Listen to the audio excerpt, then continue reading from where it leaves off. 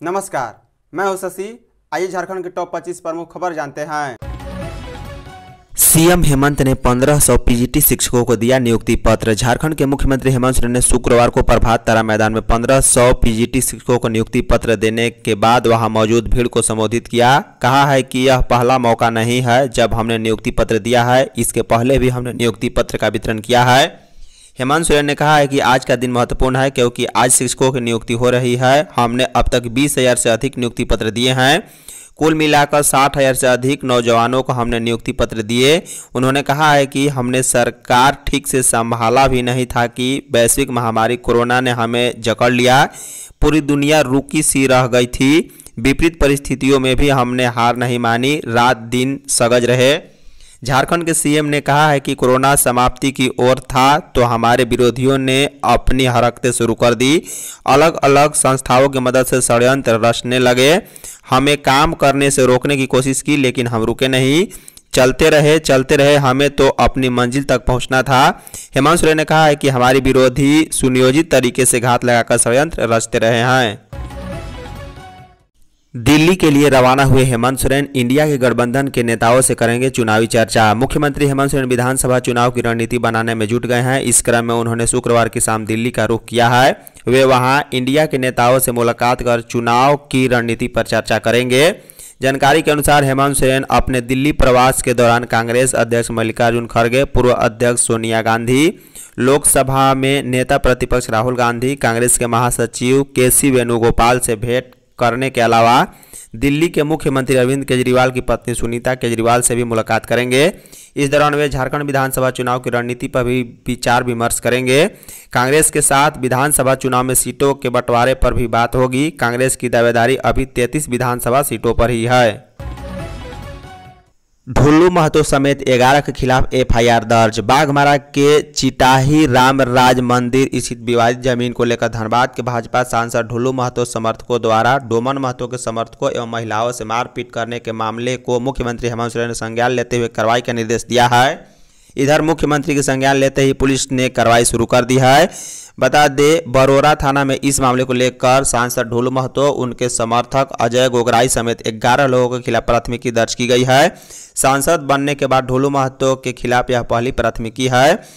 बता दे, इस मामले को लेकर ढोलू समर्थक महिला ने बेरमो के विधायक कुमार जयमंगल उर्फ़ अनूप सिंह, कांग्रेस जिला अध्यक्ष संतोष कुमार सिंह समेत 16 लोगों के खिलाफ बरोरा थाना में लिखित शिकायत की है।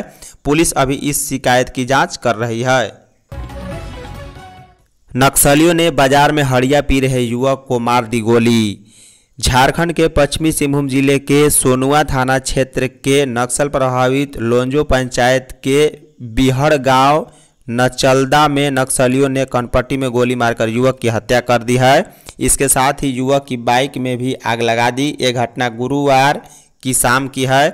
जानकारी के मुताबिक युवक सोनुआ की ओर से अपाची बाइक से नचलदा गाँव पहुँचा था। वह स्कूल के पास लगी ग्रामीण हॉट में हड़िया पी रहा था। उसी समय करीब आधा दर्जन नक्सली हॉट में पहुँचे और उससे बातचीत करते हुए उसे डंडे से मारना शुरू कर दिया। उसके बाद युवक की गोली मारकर हत्या कर दी गई है। रांची विश्वविद्यालय से पढ़े युवा देश विदेश में बना रहे पहचान। रांची विश्वविद्यालय का पैंसठवां स्थापना दिवस समारोह मोराबादी परिसर स्थित आर्यभट्ट सभागार में धूमधाम से मनाया गया। मुख्य अतिथि रांची के सांसद सह केंद्रीय रक्षा राज्य मंत्री संजय सेठ ने कहा है कि किसी भी संस्थान के लिए पैंसठ वर्ष बहुत लंबा समय होता है। रांची विश्वविद्यालय झारखंड का सबसे प्रतिष्ठित विश्वविद्यालय है। रांची विश्वविद्यालय से पढ़े युवा देश विदेश में अपनी पहचान बना रहे हैं। उन्होंने विभिन्न स्पर्धाओं में विजेता, योग, खेल एवं एन एस के छात्रों को पुरस्कार राशि देकर सम्मानित किया। रांची विश्वविद्यालय के कुलपति प्रोफेसर डॉक्टर अजीत कुमार सिन्हा ने केंद्रीय रक्षा राज्य मंत्री संजय सेठ को सॉल स्मृति चिन्ह और पुष्पगुच्छा देकर सम्मानित किया है। हर खेत तक सिंचाई का जल पहुंचाना सरकार की प्राथमिकता। झारखंड सरकार किसानों को जल्द ही बड़ी सौगात देगी। राज्य के जल संसाधन मंत्री चंपई सोरेन ने कहा है कि सरकार की प्राथमिकता खेतों तक सिंचाई का पानी उपलब्ध कराना है। इसके लिए सौर ऊर्जा पर आधारित सिंचाई योजनाओं की शुरुआत की जाएगी। ताकि खेतों तक पानी पहुँचाया जा सके। सरकार की तरफ़ से सौर ऊर्जा आधारित हजारीबाग में लिफ्ट एरीगेशन सिंचाई परियोजना शुरू की जाएगी। इस पायलट प्रोजेक्ट का शुभारंभ इस माह के अंत तक किया जाएगा।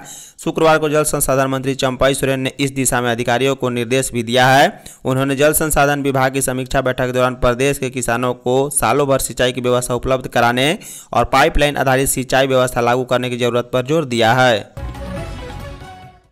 झारखंड में 15 जुलाई से नेहरू कप हॉकी प्रतियोगिता। झारखंड में नेहरू कप हॉकी प्रतियोगिता झारखंड शिक्षा परियोजना परिषद के तत्वाधान में आयोजित किया जाएगा। प्रतियोगिता को लेकर विभाग ने गाइडलाइन जारी कर दिया है।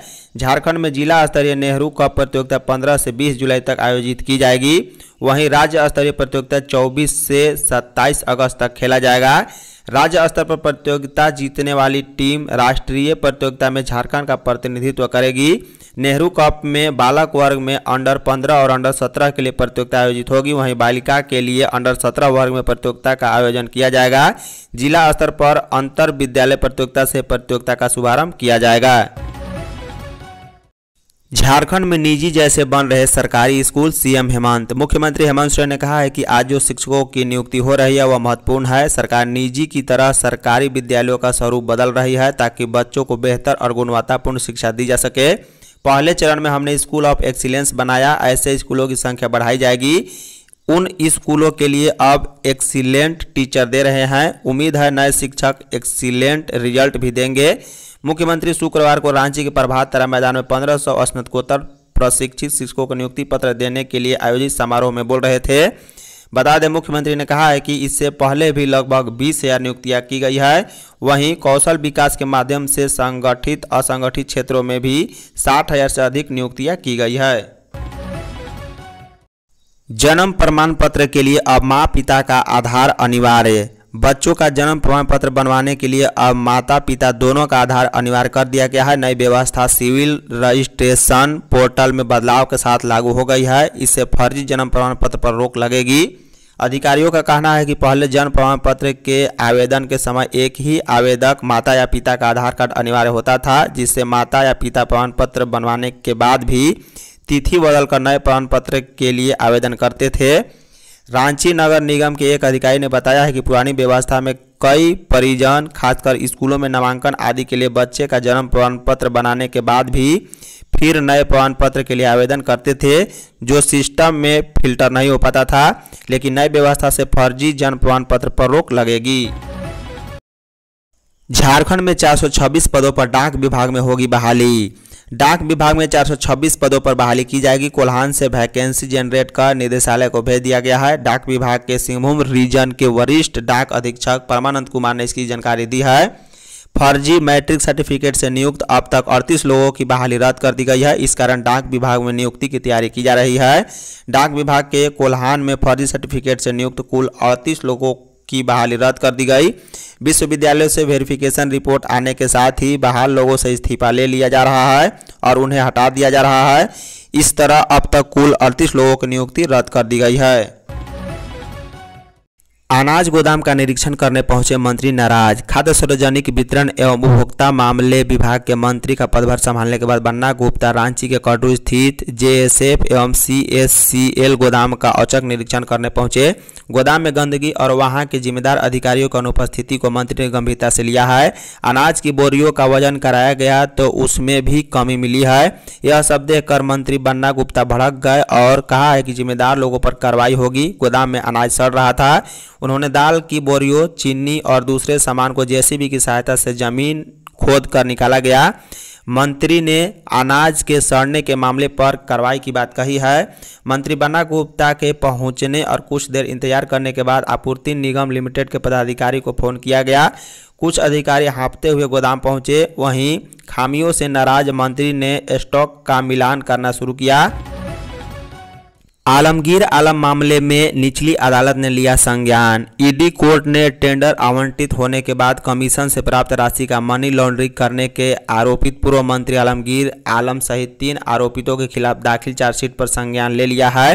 ईडी ने 4 जुलाई को तीन हज़ार करोड़ रुपए की प्रोसीड ऑफ़ क्राइम में चार्जशीट दाखिल की है, जिसमें आलमगीर आलम के साथ उनके आपस सचिव रहे संजीव कुमार लाल एवं नौकर जहांगीर आलम का नाम शामिल है, जिस पर अदालत ने संज्ञान लिया है। मामले में जेल में बंद तीनों आरोपितों को वीडियो कॉन्फ्रेंसिंग के माध्यम से अदालत के समक्ष पेश किया गया। अदालत ने अगली पेशी की तिथि 25 जुलाई को निर्धारित की है। इसी मामले में पूर्व से जेल में बंद ग्रामीण विकास विभाग के निलंबित चीफ इंजीनियर वीरेंद्र राम सहित छह की भी वीसी से पेशी हुई है। सरजू राय की हेमंत सोरेन से मुलाकात ने बढ़ाई सियासी टेंशन। विधानसभा चुनाव को लेकर भाजपा की बढ़ी सक्रियता के बीच दल के कई नेता मिलकर अपना धड़ा बना सकते हैं। इसमें वैसे लोग शामिल हैं जिनकी अनदेखी हालिया लोकसभा चुनाव में की गई है। वे आगामी विधानसभा चुनाव में भी अपने लिए बेहतर भविष्य नहीं देखते हुए एकजुट हो रहे हैं। ताज़ा घटनाक्रम में बहरागोड़ा के पूर्व विधायक और भाजपा के प्रदेश प्रवक्ता कुणाल सारंगी ने पार्टी छोड़ दी है। सारंगी जमशेदपुर लोकसभा क्षेत्र से प्रत्याशी बनने की दौड़ में थे। उन्हें कामयाबी नहीं मिली। उसी वक्त उन्होंने पद त्याग दिया था। हाल ही में उन्होंने पार्टी भी छोड़ दी है। पूर्व केंद्रीय मंत्री यशवंत सिन्हा और उनके पुत्र जयंत सिन्हा भी इसी कड़ी का हिस्सा है। जयंत सिन्हा हजारीबाग संसदीय क्षेत्र से टिकट नहीं मिलने के कारण उदासीन रहे हैं। वे प्रचार अभियान से भी दूर रहे। उन्हें पार्टी की ओर स्पष्टीकरण पूछे जाने पर भी विवाद हुआ। यशवंत सिन्हा की भाजपा विरोध की राजनीति जग ज़ाहिर है। झारखंड में हिंसक हुए टाना भगत। झारखंड के पिपरवार में चार साल पुराने ज़मीन विवाद की वजह से गांधी के अनुयायी टाना भगत हिंसक हो गए हैं। शुक्रवार को दो पक्षों के बीच हुए हिंसक झड़प में उन्नीस लोग घायल हो गए। मामला रांची चतरा सीमा पर स्थित पिपरवार थाना क्षेत्र का है। कल्याणपुर व कारो गाँव के सीमांत क्षेत्र में सुबह शुरू हुए ज़मीन विवाद ने हिंसक रूप ले लिया। दोनों पक्षों की ओर से मारपीट में सरिया, लाठी, डंटे, कुल्हाड़ी, कुदाल और गुलेल का जमकर इस्तेमाल हुआ। किसी का सिर फटा तो किसी के हाथ पैर में चोट लगी है। हिंसक झड़प की सूचना पाते ही पहुँची पिपरवार की पुलिस टीम ने दोनों पक्षों को शांत कराया है। झारखंड आंदोलनकारी संघ के जिला अध्यक्ष बने मनोरथ मरांडी। झारखंड राज्य आंदोलनकारी संघ जामतड़ा की बैठक शुक्रवार को गांधी मैदान में मनोरथ मरांडी की अध्यक्षता में हुई है। इस अवसर पर जामतड़ा जिला इकाई का गठन किया गया। सर्वसम्मति से मनोरथ मरांडी को अध्यक्ष, रोबिन मिर्था व आनंद लाल मरांडी को उपाध्यक्ष बनाया गया। वहीं अनिल सोरेन को सचिव सह सचिव रामलाल मरांडी और कोषाध्यक्ष रोहिणी मरांडी को बनाया गया है। एचईसी को सौंप दे केंद्र सरकार, सीएम हेमंत। मुख्यमंत्री हेमंत सोरेन ने शुक्रवार को प्रभात तारा ग्राउंड में बड़ी बात कह दी है। उन्होंने कहा है कि मृत प्राय से हो चुके भारी अभियंत्रण निगम यदि केंद्र झारखंड सरकार को दे दे तो हम उसकी किस्मत संवार देंगे। मुख्यमंत्री ने कहा है कि 60 के दशक में जब एचईसी बना होगा, उस समय 35 से तीस हज़ार लोग इस कंपनी में काम करते रहे होंगे। आज 10 से ग्यारह हज़ार लोग भी यहाँ नहीं है।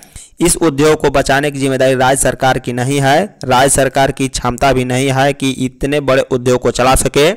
लेकिन भारत सरकार अगर झारखंड को एचईसी सौंप दे तो हम फिर से इसे सवार लेंगे, नौकरियाँ की बाहर ला देंगे। मुख्यमंत्री ने कहा, केंद्र की मोदी सरकार के कार्यकाल में एयरपोर्ट बिक गया, रेल बिक गया, बंदरगाह बिक गए, कई उद्योगों को बेचने की तैयारी चल रही है। विनिवेश का कार्यक्रम चल रहा है। मुख्यमंत्री ने कहा कि अर्थव्यवस्था की हालात ऐसी है कि हमारा रुपया डॉलर के मुकाबले पैर के बल भी खड़ा नहीं हो पा रहा है। धन्यवाद।